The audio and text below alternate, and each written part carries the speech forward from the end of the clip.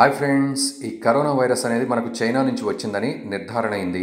దర్యాప్తు చేయడం ద్వారా అక్కడి కరోనా రోగుల లిస్టు తెలిసింది. అయితే మన వరల్డ్ హెల్త్ ఆర్గనైజేషన్ మరోసారి వుహాన్ వైరస్ ల్యాబ్పై దర్యాప్తు చేయాలి అనుకుంటోంది. కానీ దీనికి వుహాన్ ఒప్పుకోవడం లేదు. ఎందుకో తెలుసుకుపోయే ముందు మీరు మా ఛానల్ సబ్స్క్రైబ్ చేయండి. రెగ్యులర్గా మీకు వీడియోస్ వస్తూ ఉంటాయి. ఇక టాపిక్లోకి వెళ్తే వుహాన్ వైరస్ ల్యాబ్పై డబ్ల్యూహెచ్ఓ చేసే రెండో దశ దర్యాప్తుకు అంగీకరించేది లేదని చైనా తేల్చి చెప్పింది. అంతేకాదు మేము ఇంతకు ముందే ఈ విషయంపై పూర్తి స్పష్టత ఇచ్చామని కూడా చెప్తోంది ఇప్పుడు మళ్ళీ రాజకీయ ఒత్తిళ్ళతో దురుద్దేశపూర్వకంగా డబ్ల్యూహెచ్ఓ విచారణ చేస్తామంటే ఎలా అంగీకరిస్తామని చైనా జాతీయ ఆరోగ్య శాఖ చీఫ్ డబ్ల్యూహెచ్ఓని ప్రశ్నించింది. అంతేకాదు ఏదేమైనా ఇది సైన్స్ సూత్రాలకు విరుద్ధంగా ఉన్నందున అంగీకరించడం కుదరదన్నారు చైనా ఆరోగ్య అధికారులు. అంతేకాదు వుహాన్ వైరస్ ల్యాబ్పై ప్రపంచ ఆరోగ్య సంస్థ చేసే దర్యాప్తుకు బీజింగ్ బ్రేకులు వేసింది.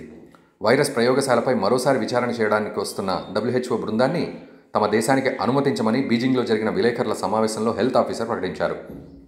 అయితే ఈ మహమ్మారికి కారణం ఏమిటి? దానిపై చేయబోయే దర్యాప్తులో చైనా ప్రభుత్వం రెండవ దశలో పాల్గొనబోదని జాతీయ ఆరోగ్య కమిషన్ డిప్యూటీ హెడ్ జంగీక్షన్ చెప్పారు.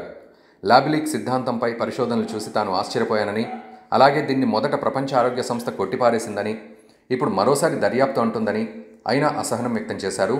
కొన్ని అంశాల్లో కరోనా వైరస్ మూలం తదుపరి దశ పరిశోధన కోసం పంపిన ప్రణాళికను అంగీకరించడం మాకు అసాధ్యం అన్నారు అదేవిధంగా చైనా ప్రతినిధి లియంగవనిన్ అదే పత్రిక సమావేశంలో మాట్లాడుతూ చైనాకు తిరిగి రావడానికి బదులుగా జంతువుల్లో కరోనా వైరస్ ఉద్భవించే అనే అంశానికి ఎక్కువ ప్రాధాన్యత ఇవ్వాలన్నారు. అంతేకాదు తమ పరిశోధనలు చైనా వెలుపల ఉన్న ప్రదేశాలకు కూడా విస్తరింపజేయాలని సూచించారు.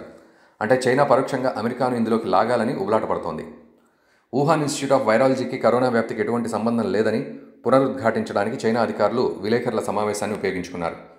China National biosafety laboratory director Wuhan lab professor రెండు వేల పంతొమ్మిది డిసెంబర్ ముప్పైకి ముందు అతను అతని సహచరులు కరోనా వైరస్ బారిన పడినట్లు చెబుతున్న సిద్ధాంతం తప్పు అని వాదించారు.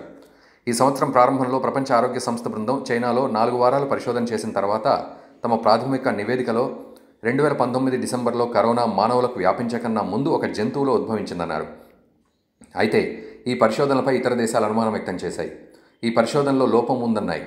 అమెరికా వాదన ప్రకారం కోవిడ్ నైన్టీన్ ఒక ప్రయోగశాల నుంచి లీక్ అయి ఉండొచ్చని బహుశా అది వుహాన్ ఇన్స్టిట్యూట్ వైరాలజీ నుంచే కావచ్చని అధ్యక్షుడు ట్రంప్ అన్నారు. ఆ సమయంలో యుఎస్ మీడియా సంస్థలు ఈ ఆలోచనలో ప్రమాదకరమైన తప్పుడు సమాచారం ఉందన్నారు. దీనికి కారణం ట్రంప్పై ఉన్న కోపం. చైనా నిజ నిర్ధారణ బృందాన్ని అడ్డుకోవడంపై ప్రపంచ ఆరోగ్య సంస్థ ఆందోళన వ్యక్తం చేసింది. అయితే దీనిపై జనరల్ డైరెక్టర్ టెడ్రోస్ అథనామ్ బీజింగ్ని పారదర్శకంగా నిజాయితీగా ఉండాలని కోవిడ్ నైన్టీన్ యొక్క మూలాలపై సంస్థ కొనసాగిస్తున్న దర్యాప్తుకు సహకరించాలని పిలుపునిచ్చారు. ఇప్పటివరకు తమకు మొదటి కోవిడ్ మూలాల గురించి ఎటువంటి సమాచారం అందించలేదని అయినా ప్రకటించారు. అయితే బీజింగ్ ఇటువంటి ఆరోపణలను తిరస్కరించింది. అంతర్జాతీయ దర్యాప్తుకు ఇంతకు ముందే పూర్తిగా సహకరించామని జవాబు ఇచ్చింది. చైనా మంత్రిత్వ శాఖ ప్రతినిధి జావో లిజన్ మాట్లాడుతూ అసలు దర్యాప్తు అనేది శాస్త్రీయంగా లేదని అలాగే అన్ని పార్టీలు ఈ సమస్యను రాజకీయం చేయకుండా శాస్త్రవేత్తల అభిప్రాయాలను శాస్త్రీయ తీర్మానాలను గౌరవించాలని పరోక్షంగా అమెరికాను ఉద్దేశించి అన్నారు. అంతేకాదు అమెరికాలోని మేడ్ ఇన్ ల్యాండ్లో గల ఫరిడెట్రిక్ బయోల్యాబ్ నుంచి కరోనా వచ్చిందని దాన్ని కావాలనే మా దేశంలో అంటించారని ముందు దానిపై దర్యాప్తు చేయమని డిమాండ్ చేసింది.